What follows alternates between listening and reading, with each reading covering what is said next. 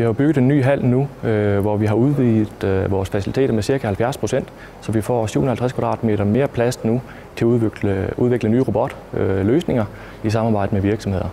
Og det er måske virkelig det, der er det helt nye i den her, det er, at vi får endnu bedre mulighed for at invitere virksomheder ind. Virksomhederne får simpelthen en mulighed for at, komme og gå, når de har lyst. De får adgangskort til det, og indgå i et samarbejde med, med relevante personer her fra instituttet, der kan indgå i at bygge de her løsninger.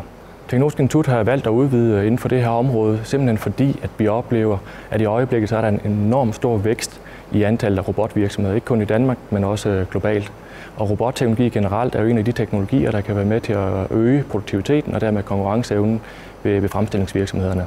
Så det med at have en stærk øh, robotindustri er vigtigt i forhold til at bevare konkurrenceevnen også. Øh, og i og med, at der er den her store vækst, og der skal laves flere og flere løsninger, så har vi selvfølgelig også brug for at vækste sammen med, med miljøet omkring os. Jamen, den nye øh, hal vil blandt andet give nogle nye muligheder for at få startup virksomheder ind. Der er jo lavet en fælles indsats sammen med Odense Kommune, Udvikling Fyn og Teknologisk Institut, hvor vi tilbyder en række startup virksomheder at komme ind og stå i, i bygningen sammen med os. Øh, og det fører til, at vi får flere øh, robotvirksomheder. Der er simpelthen flere, der kommer igennem nåleøje, der bliver levedygtige og ender med at have et produkt og være her mange år og forhåbentlig kan blive til den nye Universal Robot. Det er vigtigt, at vi får støttet de her små startup virksomheder, især i den her første fase. Der er rigtig øh, mange udfordringer, når man starter en ny virksomhed. Og robotteknologi det er bestemt ikke nemmere end andre brancher. Måske tværtimod en lille smule sværere, fordi man både har noget software og noget hardware, altså noget rent øh, mekanisk, der også skal virke. Og mange gange så starter man jo med, med den gode idé, og det kan være, at man har en, en, en softwarebaggrund, som gør, at man er rigtig dygtig til at udvikle software, men det betyder ikke nødvendigvis, at man er rigtig dygtig til at bygge den robot, som softwaren skal bruges på. Så det er der med at teame op med, med andre, der har de øh, komplementerende kompetencer, der er behov for, for at lave de her løsninger. Det er, det, det er vigtigt.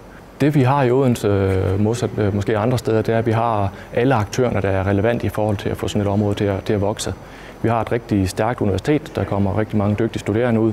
Der kommer 90 nye robotingeniører ud øh, om året nu.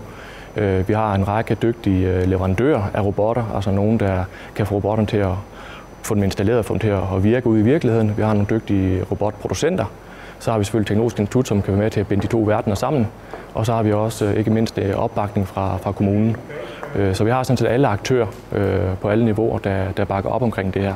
Og det er selvfølgelig vigtigt for at få det her til at, til at vokse.